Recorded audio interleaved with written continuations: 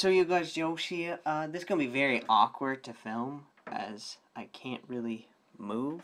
But uh, so for those of y'all who don't know, well, I'll show you right now. I'll try to. Oh boy, yeah, this is gonna be very extremely awkward. So, uh, we all like I was about to say, we all know the mystery box and stuff, but oh, the DS does it have a mystery box? Nope, it has what is called this, the mystery crate which straight, oh god, I can't even, can I, did I grab it? Oh, there we go. So give me a straight tube. You can see, again, due to the limitations of the DS, that there is absolutely no animation. Where's the crawler? Which way is the crawler coming? Yeah, there's no animation for grabbing it. Let's do it again. Let's see if I can grab it. So this is like, was this M16 or something like that? Uh, let me see. I'll use it one more time, but yeah, this I found very interesting, you know, that it was the mystery cabinet. Now, obviously, I know why they didn't do animations and stuff because of limitations, and I'm assuming just like most, you know, like most, uh, was it NES or the most cartridge games, they only have a, like, amount of capacity via, like, memory. They only have, like, some megabytes, 100 megabytes or something like that.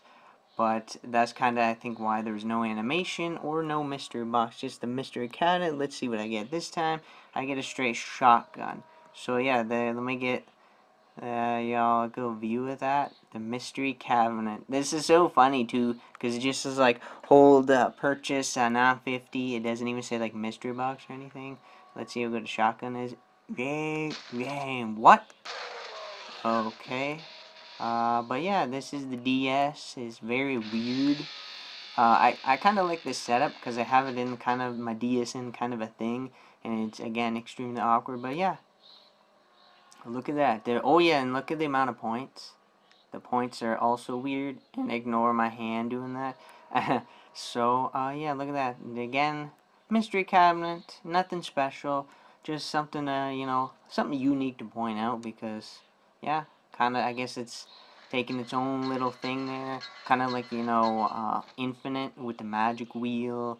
And then Exo Zombies has like the 3D printer. And then World War II Zombies technically has like a mystery box, like the crate or something. And then there's these clowns running.